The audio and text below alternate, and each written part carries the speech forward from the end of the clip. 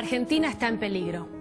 Leyes mineras más que permisivas, creadas en los años 90 y vigentes hoy, les abrieron las puertas a empresas transnacionales que buscan oro, plata, cobre y uranio.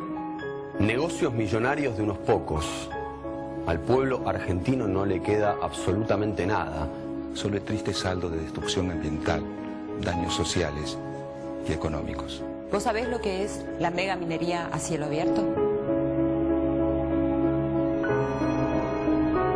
La megaminería provoca voladura de montañas. En un solo día se utilizan 9 toneladas de explosivos. Un solo anillo de oro equivale a 18 toneladas de desechos tóxicos. La megaminería utiliza 10 toneladas de cianuro por día para separar el oro de la roca. Cianuro. Cianuro. Cianuro. El proceso llamado lixiviado con cianuro utiliza 300.000 metros cúbicos de agua potable por día. El agua contaminada con tóxicos y metales pesados se deposita en piletones llamados diques de cola. Los diques de cola se fracturan y millones de litros de agua con tóxicos y peligrosos metales pesados terminan volcándose en ríos, arroyos y acuíferos.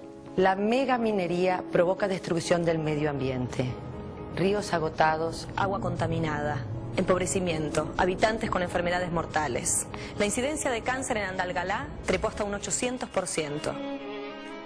De toda explotación metalífera, la del uranio es la más perjudicial y perversa. La contaminación radiactiva condena terribles padecimientos a la humanidad y a la naturaleza. No queremos extracción de uranio, ni exportación de plutonio. El agua es fuente de vida y vale mucho más que suntuarios como el oro. Protejámosla. El agua y la vida no se negocian. Es prioritaria una ley contra la mega minería contaminante. Sumate a la acción interprovincial de conciencia solidaria. Tu adhesión hace la diferencia. El agua y la vida no se negocian.